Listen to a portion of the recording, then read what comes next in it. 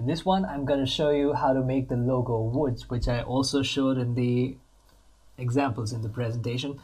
Get the type tool, type in woods, adjust the spacing. I quite like this spacing right here.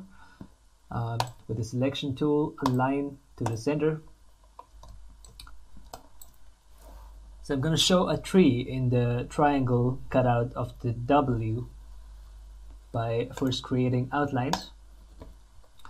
Uh, I can select the direct selection tool to see the control points. Now I can I'm gonna use the pen tool, which is maybe new for you, uh, but it's right here, and add control points. If you right click on these tools, by the way, you can have more options for the for those tools. So uh, uh in the pen, pen tool, I can I'll go for add control point, and when I go close to the the line, the outline, I can see path in pink. And I'm gonna add maybe one and two control points here. Two more here. Two more right there. Now with the direct selection tool, I'm gonna select the top one here and move it outside and a bit to the bottom. The one here, I'll do the same the one here. Again the same. This one needs to go a bit more to the out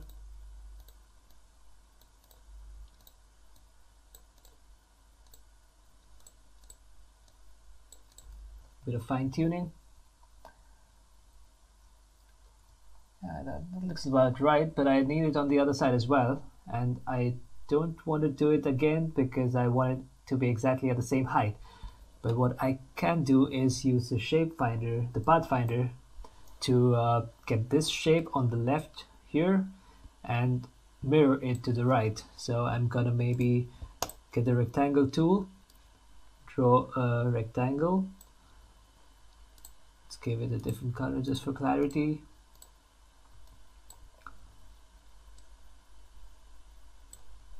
It looks about right and these two shapes I can intersect them but it produced no results.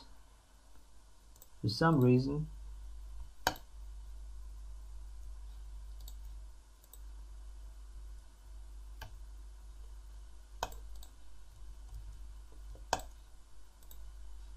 now it works.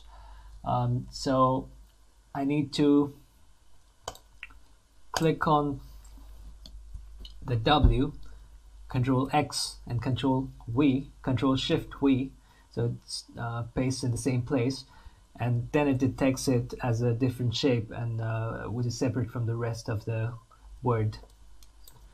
So now I can use this shape and the rectangle to intersect, and this I'm gonna Alt click and drag to copy, holding Shift so it's in the same height and right click on the right uh, on the outside uh, bounding box and transform reflect vertical.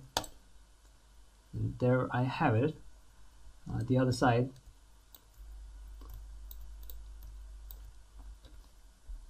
And make sure they join at the right place right point. And maybe the bottom one needs to go a bit more to the right so select this one and goes to the right. So it's parallel to the other lines on the uh, on the top slanting edges. This one as well a little bit.